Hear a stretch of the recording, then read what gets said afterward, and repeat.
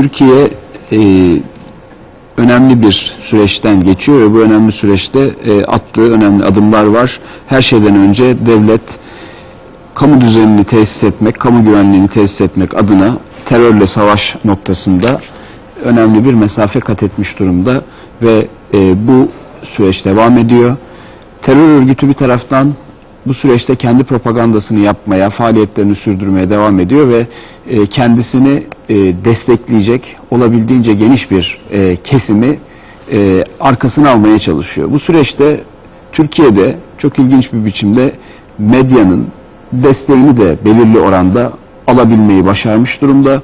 Buradaki çıkar birliklerinin altını gerçekten dikkatle çizmek gerekiyor ve e, PKK propaganda süreçlerini sadece kendi organik medyası üzerinden değil, Türkiye'de herhangi bir şekilde bizim bildiğimiz kadarıyla organik bağı olmayan, e, Türkiye'de daha önce ana akım medya olarak 1990'larda bilinen medya organları üzerinden mesajlarını iletmeye başlıyor. Dahası 2000'li yıllarda ulusalcı medya olarak ifadelendirilen medya organları üzerinden kendi propagandasını yapıyor. Çok irrasyonel bir süreç var aslında karşımızda. Yani PKK'nın propagandasını yapan pek çok medya kuruluşu ortada ve bunun üzerinden de e, PKK sadece eylemleriyle değil çünkü bir terör örgütü en çok eylemleriyle e, kendisinden bahsettirir, kendisinden bir şekilde e, gündem oluşturur ve bir korku ortamı oluş, e, sağlar.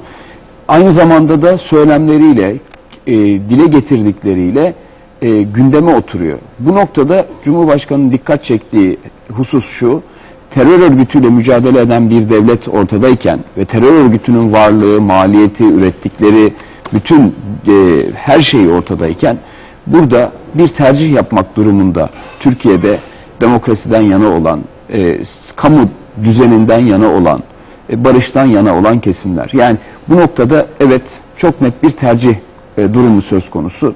Bu benim anladığım e, kadarıyla bunun altı burada çiziliyor ve haklı bir noktaya işaret ediliyor. Çünkü e, artık e, telif edilmesi giderek zorlaşan bir e, sürecin içine girmiş durumdayız. E, Cumhuriyet Gazetesi'nin bugünkü sayfası, birinci sayfası çok manidar bu anlamda. E, bakıyorsunuz dünkü 8 e, şehit haberi e, verilmiş. E, bir sürü terör haberi var aslında.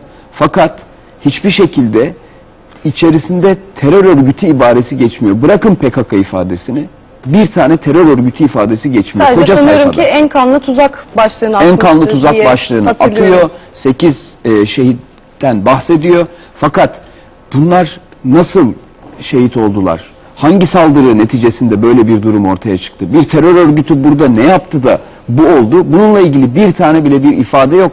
Bunu çağrıştıracak bir şey de yok. Yani şöyle düşünüyorsunuz bir trafik kazası oldu herhalde. Bir trafik kazası sonucunda 8 askerimiz şehit oldu. Cumhuriyet Gazetesi'nin birinci sayfasına bakarsanız bunu anlarsınız. Dahası e, Sayın Cumhurbaşkanı'nın yaptığı konuşmaya atfen bir manşet atılmış ve orada da yine doğrudan barış diyenleri hedef aldı, tehdit etti diye bir üst başlık seçilmiş. Şimdi bakıyorsunuz burada gerçekten çok irrasyonel yani e, hani tabirimi e, mazur görün deli zırvası bir durum var.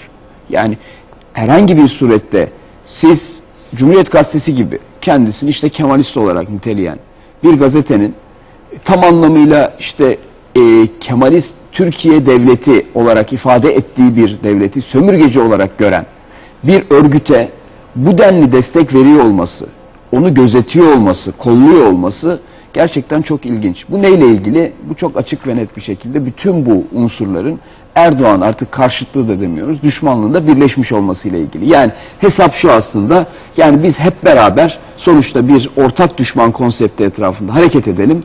E, Erdoğan'ı yerinden edelim. Ondan sonra hepimiz kendi e, çıkarlarımıza bakarız. Fakat burada e, fark edemedikleri nokta şu, aslında bu tür kirli ittifakların, tarihte bunun pek çok örneği var, maliyetleri çok ağırdır ve bu kirli ittifaklara giren bütün aktörler günün sonunda zehirlenerek, kamuoyu önünde de kirlenerek çıkarlar ve kendi gündemlerini, ajandalarını işleyemezler. Cumhuriyet Gazetesi bundan sonra e, sittin sene ve benzeri bunu pek çok başka gazete için de söyleyebiliriz. Bu bir örnek aslında. Bazı medya kuruluşlarının tavrını evet Bundan sonra hiçbir, gerekiyor. hiçbir şekilde çıkıp da biz şöyle bir Türkiye istiyoruz diyemez. Dese bunun gerçekten çok sınırlı, sadece örgütlü, militan bir alıcı kitlesi olur. Sahici bir alıcı kitlesi olamaz.